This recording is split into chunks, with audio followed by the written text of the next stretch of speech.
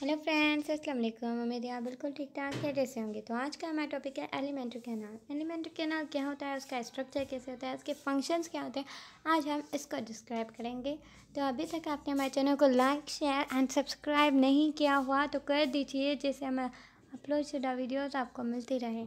तो स्टार्ट करते हैं बिना किसी देरी के।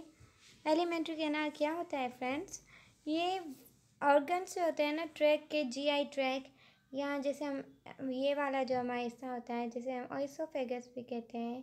ओके फ्रेंड्स तो माउथ से लेकर यहाँ पर हम देखते हैं। ये वाला जो हिस्सा होता है ना, जो यहाँ से शुरू होता है और एंड तक एनस तक ये हिस्सा जाता है, ये वाला यहाँ तक जो आता है हिस्सा इसे हम एलिमेंट्री कैनाल कहते हैं। ओके फ्रेंड्स तो इसे हम जी आई ट्रैक भी कहते हैं। इसमें क्या क्या आ जाता है? एलिमेंट्री कैनाल में तुथ आ जाते हैं और टंग से शुरू होता है, जिसे हम ओरल कैविटी भी कहते हैं। उसके बाद इसमें फेरेंक्स आ जाता है सिलेवरी ग्लैंड्स होते हैं और आइसोफेगस आता है, उसके बाद इसमें स्टोमक भी आता है। और फिर स्मॉल इंटेस्टाइन स्मॉल इंटेस्टाइन में टाइप्स हैं उसके, जिन्हें हम जूडिनम एलियम जेजिनियम कहते हैं फ्रेंड्स ठीक है? और उसके बाद जो है वो लार्ज इंटेस्टाइन आता है। लार्ज इंटेस्टाइन के भी टाइप्स हैं, जैसे हम एक कैकम है, दूसरा अपेंडिक्स है और तीसरा असेंडिंग कॉलोन है। और उसके बाद डिसेंडिंग कॉलोन है। ओके फ्रेंड्स तो इसमें केकियम होता है अपेंडिक्स होता है, उसके अलावा असेंडिंग कॉलोन होता है लार्ज इंटेस्टाइन के पार्ट्स हैं। और डिसेंडिंग कॉलन आता है सेगमेंट कॉलन आता है, इसके बाद रेक्टम और फिर एन एस आ जाता है। तो ये सब हमारा क्या था? एलिमेंट्री कैनाल तो यहाँ पर देख लेते हैं कि इसकी स्ट्रक्चर क्या होती है।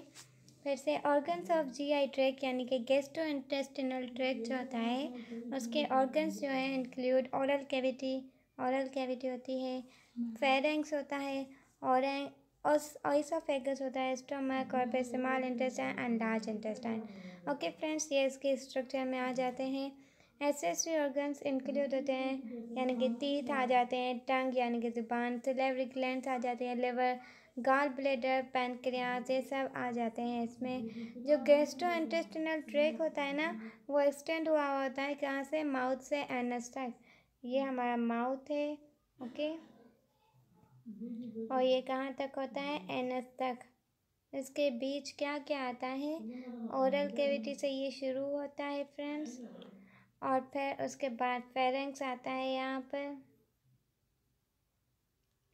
और फिर ऑइसोफेगस आता है। ऑइसोफेगस क्या करता है? फेरेंक्स और स्टोमक को आपस में कनेक्ट करता है, ओके? फेरेंक्स ऑइसोफेगस कहाँ खुलता है? स्टोमक में। और फिर स्टोमक कहाँ खुलता है? स्टोमक खुलता है स्मॉल इंटेस्टाइन में और उसके बाद आता है लार्ज इंटेस्टाइन। ओके फ्रेंड्स, और उसके बाद एनस आकर यहाँ पर एनस पर हमारा ख़त्म होता है डाइजेस्टिव सिस्टम।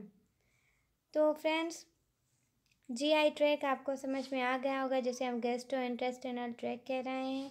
और इसमें एसेसरी ऑर्गन्स होते हैं, जैसे हम teeth tongue salivary glands liver gall bladder pancreas इनका भी इनमें फ़ंक्शन होता है।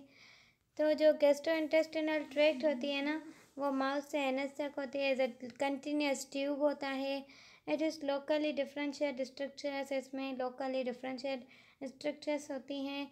It is specialise at various points along its length ये स्पेशलाइज होता है मीन्स खास होता है, मुख्तलिफ़ पॉइंट्स पर लेंथ के हिसाब से।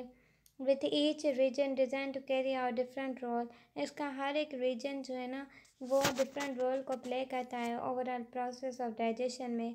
डाइजेशन के प्रोसेस और एब्जॉर्प्शन के प्रोसेस में इसका हर एक डिफरेंट डिफरेंट रीजन जो होता है वो डिफरेंट प्ले करता है रोल ओवरऑल प्रोसेस में। गेस्टो इंटेस्टिनल जो होता है ना ट्रैक्ट इज़ अप्रॉक्सीमेटली इसकी जो लेंथ होती है वो नाइन मीटर होती है। ये बहुत इंपॉर्टेंट है इंटरेस्ट में भी आता है कि इसकी लेंथ नाइन मीटर होती है और फुट में हमें कहें तो थर्टी फुट ये लॉन्ग होता है। Okay friends it trans it traverse the thoracic cavity and enters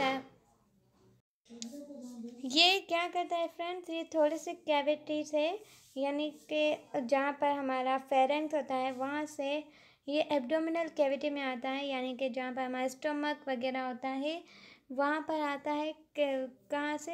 At the level of diaphragm diaphragm जो है, वो एक मसल है ये यहाँ पर हम देख लेते हैं, ठीक है फ्रेंड्स तो ये क्या है? ये हमारा सारा क्या है?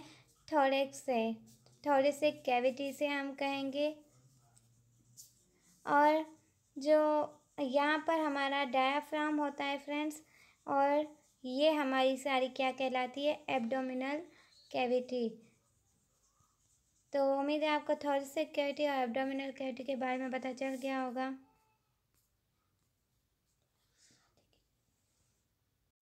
फ्रेंड्स गेस्टो इंटेस्टिनल ट्रैक में सॉरी गेस्टो इंटेस्टिनल ट्रैक में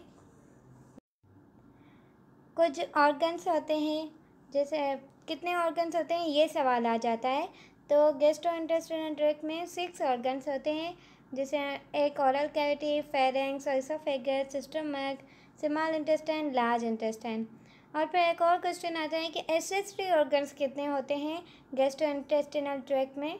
तो वहाँ पर भी छः ऑर्गन्स आ जाते हैं, जैसे teeth tongue salivary glands liver gallbladder and pancreas okay friends तो ये याद रखना चाहिए हमें हमेशा। और इस गेस्टो इंटेस्टिनल की हमने लेंथ कितनी पड़ी थी ट्रैक की? नाइन मीटर्स यहाँ फुट में कहें तो थर्टी फुट लॉन्ग होता है।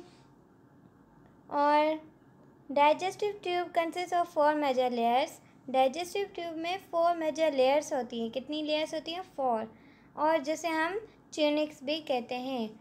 फोर मेजर लेयर्स होती हैं, जिसे हम ट्यूनिक कहते हैं। एंड इंटरनल म्यूकोसा होता है। इंटरनल जो होती है लेयर से हम म्यूकोसा कहते हैं।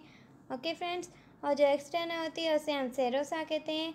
विथ है सब म्यूक्योसा एंड मस्क्यूलरीज इन बिटवीन उनके बीच में क्या होती हैं? मस्क्यूलरीज और सब म्यूकोसा लेयर्स होती हैं। इनके बीच में किन के बीच में? Inter inter mucosa and external mucosa के बीच में सब म्यूकोसा एंड मस्क्यूलरीज होती हैं। Layers these four tunics are present in all areas of digestive tract ये जो फोर ट्यूनिक्स हैं लेयर्स हैं, कौन सी कौन सी inter internal mucosa external serosa सब म्यूकोसा मस्क्यूलरीज ये फोर लेयर्स होती हैं। ये हर एक डाइजेस्टिव ट्रैक में मौजूद होती हैं और फ्राम से एनएस की तरफ़। तो फ्रेंड्स आपको पता चल गया होगा एलिमेंट्री कैनाल क्या है उसके स्ट्रक्चर उसका फ़ंक्शन तो फ़िलहाल के लिए अल्लाह हाफिज़, मिलते हैं अगले वीडियो में। और अगले वीडियो में इंशाल्लाह हम डिस्कस करेंगे ओरल कैविटी को पैलेट को एंड सिलेवरी ग्लैंड को। तो देखना मत भूलिएगा। फ़िलहाल के लिए अल्लाह हाफिज़।